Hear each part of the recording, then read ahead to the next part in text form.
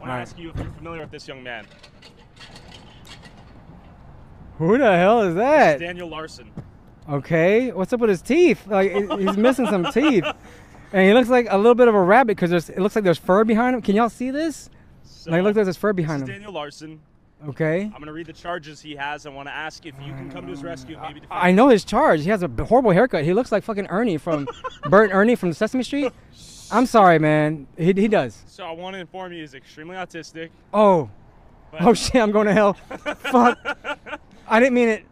I didn't mean it. Okay, so he's extremely right. autistic. Boulder man accused of threatening to use explosives at CU, White House FBI headquarters. Jesus. I can get in contact with him and his team. Will you represent him in court, and can you get his cases dismissed? Under one under one condition. He has to change that freaking haircut. I could not take anybody seriously with that you haircut. legally represent him for free for the uh, culture. For the culture, I promise it'll bode well for your marketing campaign. it depends. I have to talk to him. Everything I- depends on what I what I say. negotiate a conversation between you two. I'm down for it. But if he's that? but only if the charges in Texas. I'm currently licensed only in the state of Texas. So just saying. But if he's, He's in charged somewhere else, It's pretty close. I can't. I can't. flew you in for a day. I mean, I'll talk to him, but like, he needs your help. I know he needs my help. He really does. So okay, I mean, we'll put Daniel Larson aside. You think he needs a haircut, and he's probably going to go to jail for life without a lawyer Man, like change you. the shirt, please, man. Well, we'll talk about him later. All right. Fair enough, though. Fair enough. Does he get ass?